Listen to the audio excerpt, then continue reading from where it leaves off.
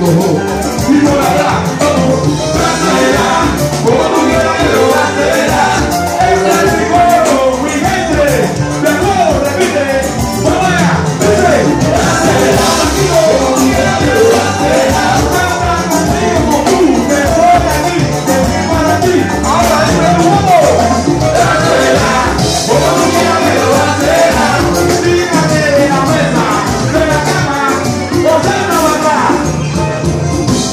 señores. Hace la vida como momento ahora en la isla, ¿no?